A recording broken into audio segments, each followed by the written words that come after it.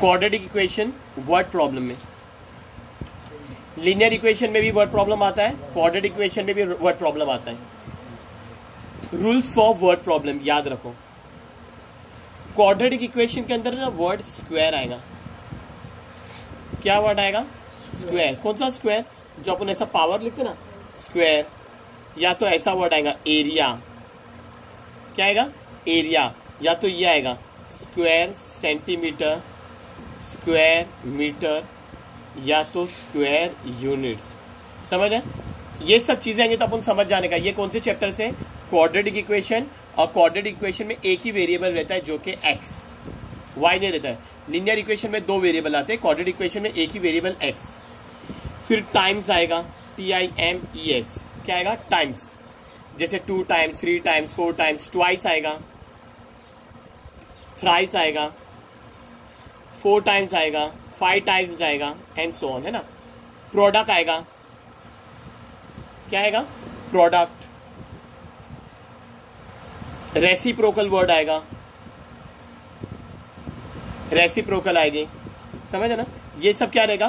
Quadratic equation reciprocal आएगा। फिर ऐसे भी वर्ड आएँगे। Consecutive natural number consecutive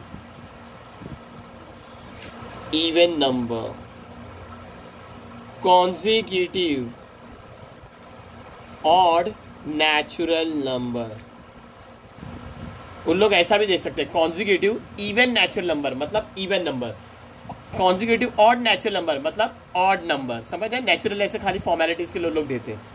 ये सब वर्ड आ जाएगा तो तुम लोग समझ जाने का है कौन से चैप्टर से क्वाड्रेटिक इक्वेशन और तुम लोग को एक ही वेरिएबल लेके सॉल्व करने का एक्स क्या करने का एक्स दूसरा कभी भी तुम लोग को मालूम पड़ गया कि ये क्वाड्रेटिक इक्वेशन का वर्ड प्रॉब्लम है तो तुम लोग को सब में पहले है ना कंपैरेटिव स्टेटमेंट पे फोकस करने का। कौन सी स्टेटमेंट पे? कंपैरेटिव स्टेटमेंट जिसके अंदर कंपैरिजन कर रहे हैं। जैसे Shahrukh Khan is more handsome than Salman Khan. तो जा, दो जान के इसमें कंपेयर करें किससे किससे इसमें? शाहरुख खान और सलमान खान। शाहरुख खान और सलमान खान। तो जो भी बाद में आएगा, मैंने पहले शाहरुख खान बोला कि सलमान खान सलमान खान। नहीं, पहले मैंने शाहरुख खान बोला, बाद में बोला सलमान खान। तो सलमान खान को एक्स अज्यूम करेंगे और शाहरुख खान को जो भी एक्स प्लस जो भी रहेगा वो अज्यूम करेंगे। समझे? फ़िलहाल मैं बता रहा हूँ, देखो कंपेरेटिव स्टेटमेंट कंपेरेटिव स्टेटमेंट ऐसा रहेगा, जैसे Abdullah Abdullah is older than Asjad by 15 years. By 15 years.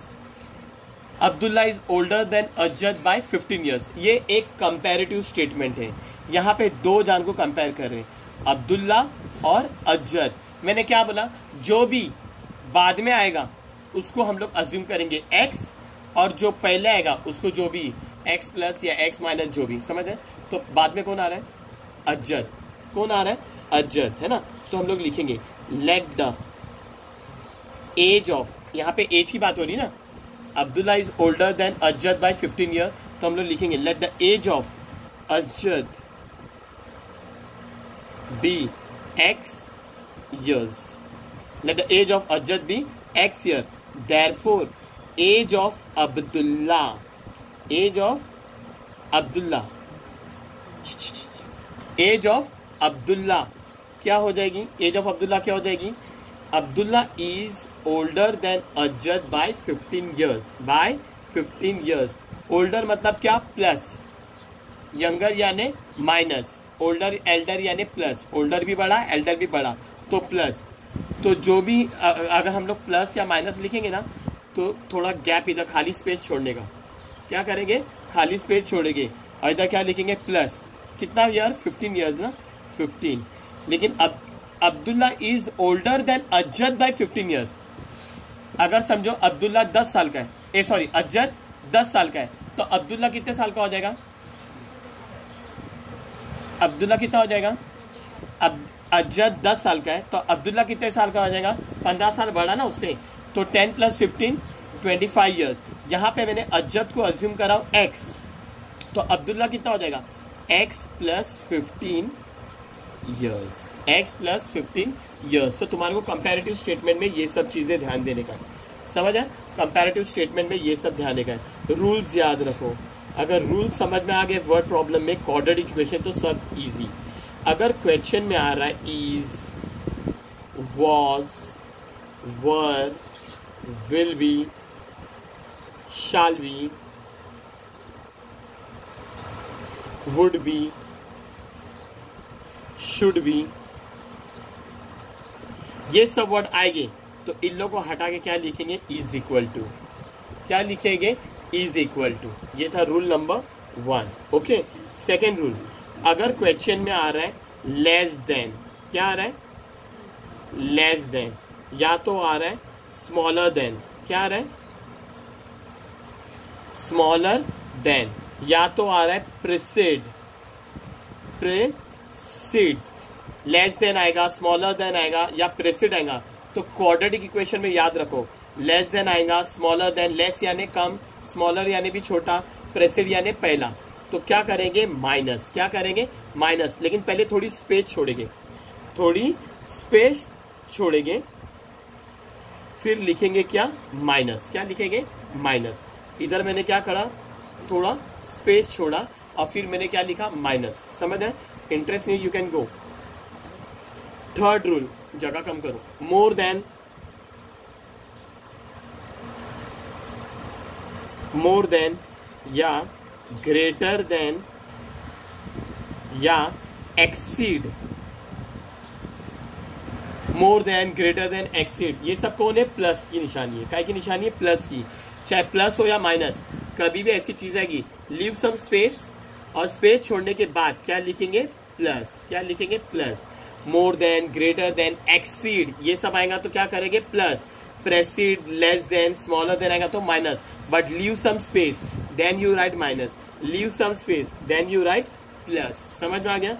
Rule number three rule number four rule number four अगर क्वेश्चन में टाइम्स आया टाइम्स समझे ना टू टाइम्स हो सकता है थ्री टाइम्स हो सकता है फोर टाइम्स हो सकता है, या तो प्रोडक्ट आएगा, क्या आएगा? प्रोडक्ट क्या आएगा? प्रोडक्ट प्रोडक्ट यानी क्या? मल्टीप्लाई टू टाइम्स यानी टू मल्टीप्लाई बाय जो भी देखने का प्रोडक्ट भी मल्टीप्लाई प्रोडक्ट भी क्या है? मल्टीप्लाई ट्वाइस भी वैसा ही रहता है। ट्वाइस यानी टू टाइम्स है ना?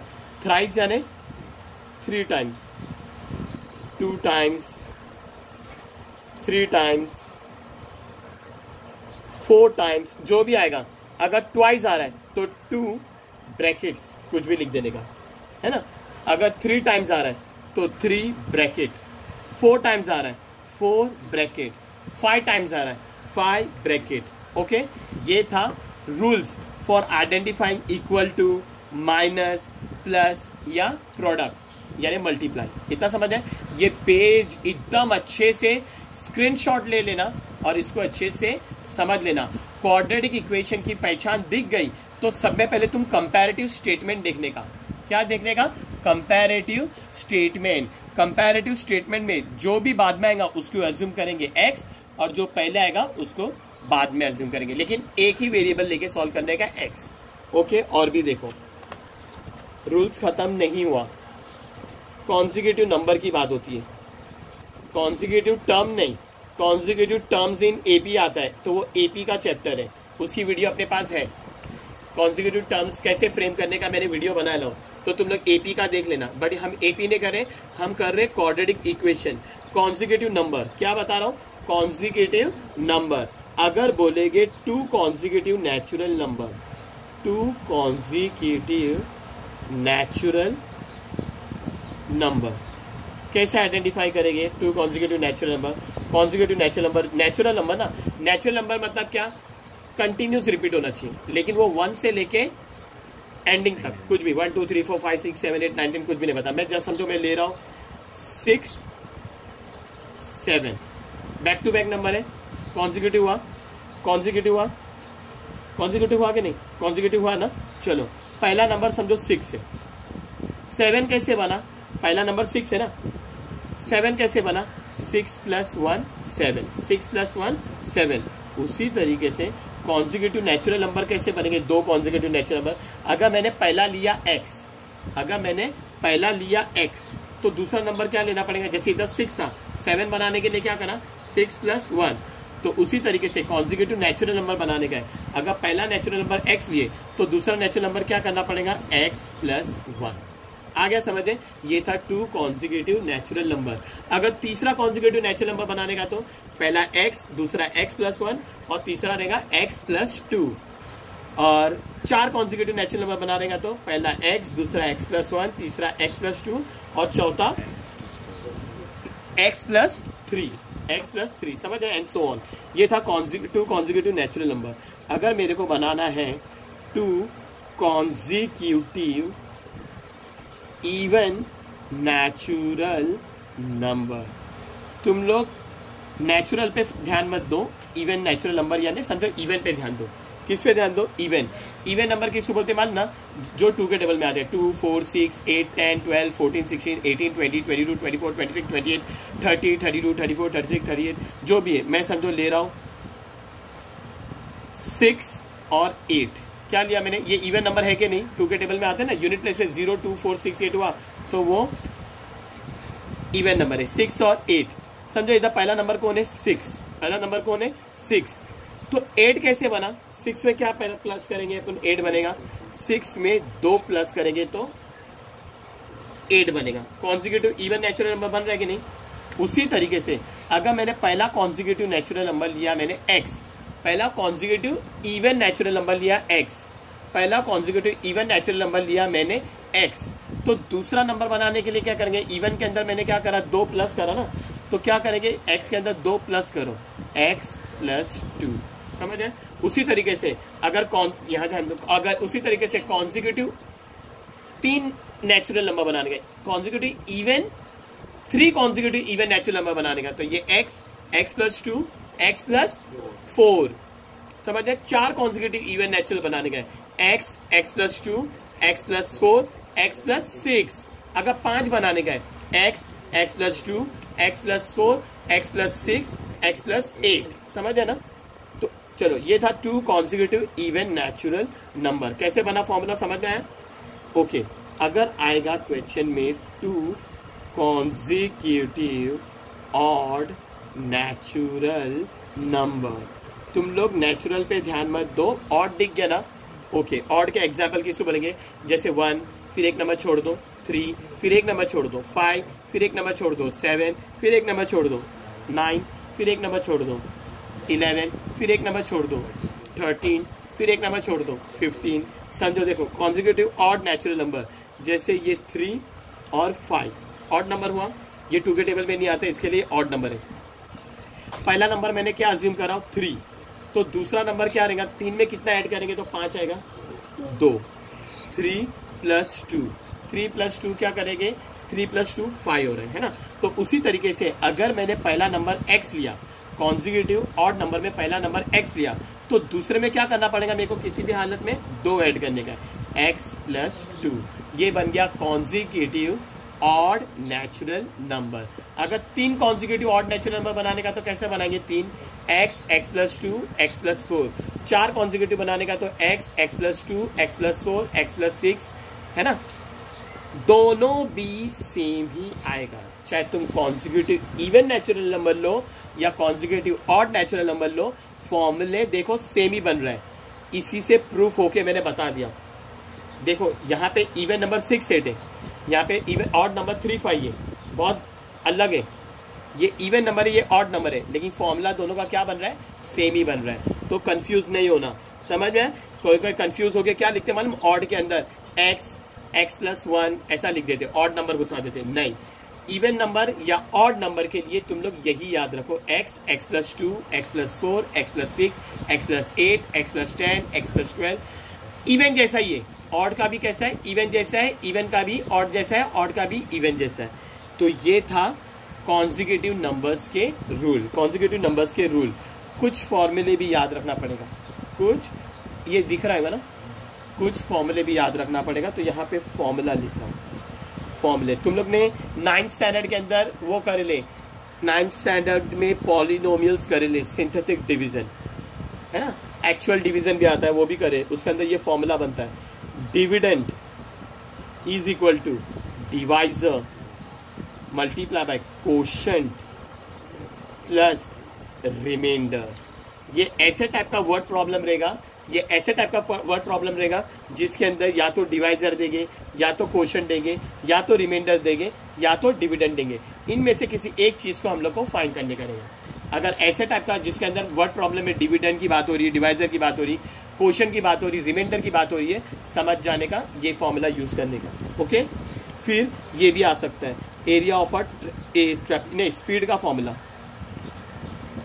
speed is equal to distance upon time speed is equal to distance upon time distance का फॉर्मूला क्या बनेगा? Distance is equal to speed multiply by time क्या बनेगा? स्पीड मल्टीप्लाई बाय टाइम है ना? Speed multiply by time time का formula क्या बनेगा? डिस्टेंस अपॉन स्पीड है ना? टाइम का फॉर्मूला क्या बनेगा डिस्टेंस अपॉन स्पीड तुम लोग फ्रेम करने आ जाएगा ना? जैसे स्पीड का फॉर्मूला क्या? डिस्टेंस अपॉन फाइव तो डिस्टेंस का फॉर्मूला क्या बनेगा? Distance is equal to speed multiply by time time का फॉर्मूला क्या बनेगा time is equal to distance upon speed time चले गया इधर स्पीड आ गया इधर. Time is equal to distance upon speed समझ में आ गया? तुम लोग को ये फॉर्मूला भी आएगा.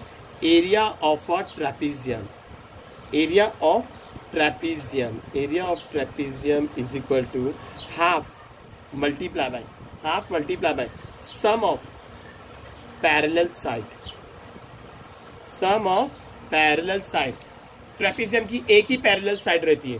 तो वो एक पैरेलल साइड को क्या करेंगे? प्लस क्या करेंगे? प्लस मल्टीप्लाई बाय हाइट क्या रहेगा? हाइट समझ है? तो ये था एरिया ऑफ़ ट्रेपिजियम ट्रेपिजियम देखो ऐसे रहते फिगर यहाँ देखो। ये है ट्रेपिजियम। पैरेलल साइड ए देखो ए बी सी डी ये ट्रेपिजियम है, ये बी है। ये साइड सी डी और ए बी क्या है? Parallel A B is parallel to C D तो sum of the parallel side का मतलब क्या? A B plus C D समझ है? और इसके अंदर हाइट भी आती है। तो ये हाइट समझो लोग ने इधर दे दिए, ये पी क्यू पी क्यू क्या है? हाइट तो मल्टीप्लाई बाय पी क्यू समझ है? हाफ़ मल्टीप्लाई ये बाइनोमियल है ना, इसके लिए ब्रैकेट में। समझ है? आ गया समझ में? तो एरिया ऑफ़ ट्रेपिज्म का फॉर्मूला भी याद कर लेने का। ये सब चीज़ें याद रही तो ही तुम लोग को वर्ड प्रॉब्लम आएगा। Okay these are the rules for the word problem ये दो पेज एकदम अच्छे से स्क्रीनशॉट ले लेना और अच्छे से याद कर लेना। ओके अच्छे से याद कर लेना। ये वाला पेज भी, जो मैंने बताया। ट्रेपिज्म किसको बोलते सब दिख रहा है ना? अच्छे से दिख रहा है। Tata bye bye